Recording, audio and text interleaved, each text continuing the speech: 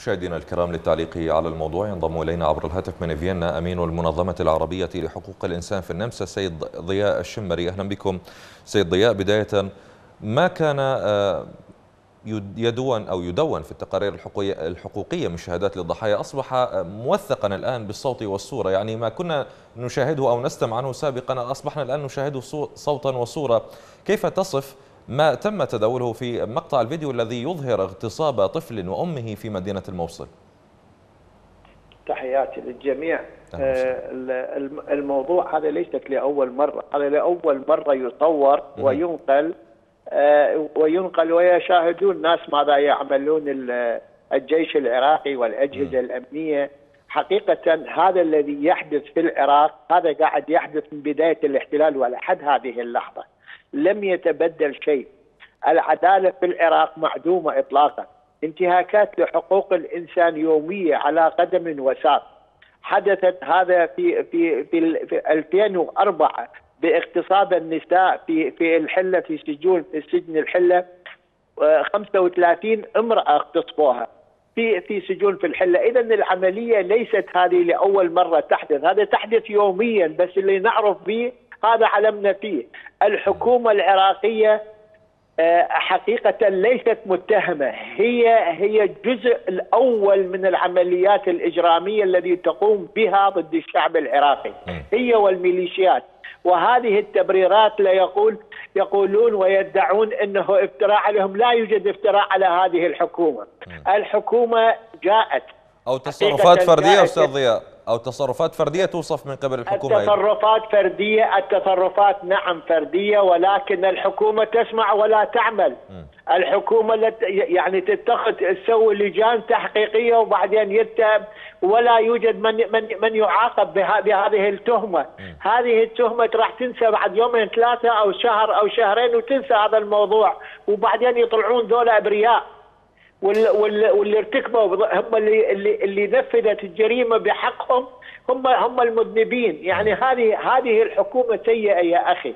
هذه الحكومة بالعراق الموجودة لا يمكن أنه هذه الحكومة يعني يعني تأتي من أجل العراقيين. هذه ما جاية من أجل العراقيين. هذا جاية من أجل تدمير اللحمة الاجتماعية في العراق. طيب. من أجل تدمير العراقيين. هذه الحكومة يعني حقيقة هذه الأفلام اللي قاعد يعني يعني لا يمكن تطاق. في أي دولة من الدول لو كانت هذا الجيش في أي جيش بالعالم كانوا يحاسبون راسا. نعم. إحنا قاعد نصدر بيانات ونتكلم. حقيقة يعني واحد يطلع حتى عن طوره من التحدث بهيك عمليات إجرامية باغتصاب امرأة مع طفلها. أستاذ ضياء معقول هذا؟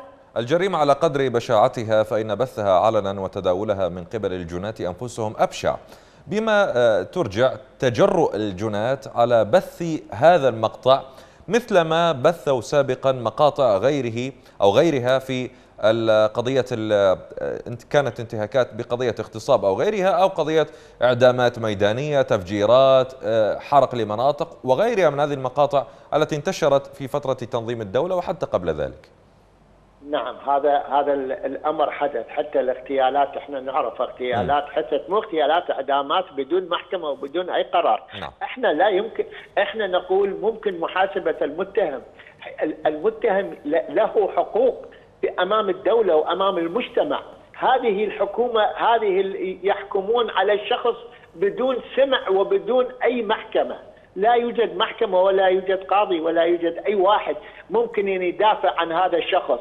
يعني نور المالكي مرة هذا نور المالكي مرة إحدى, المقا... إحدى المقالات قال صارت عملية في في في إحدى المناطق بالديوانية وقال أنا أستغرب على فد محامي يدافع عن فد واحد إنسان مجرم، طبعا من حق المجرم أن يتخذ محامي، هذا القانون، هذا الدولة، هذا حقوق الإنسان. أنت كيف تحكم على شخص ما ماكو واحد يدافع عنه؟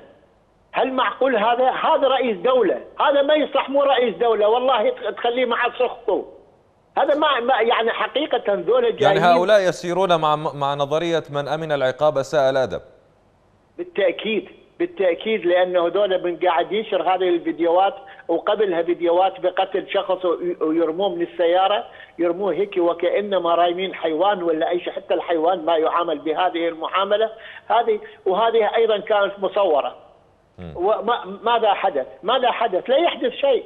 يعني حقيقة إحنا قاعد نعول على ناس هم ناس هم المجرمين هم قتلة.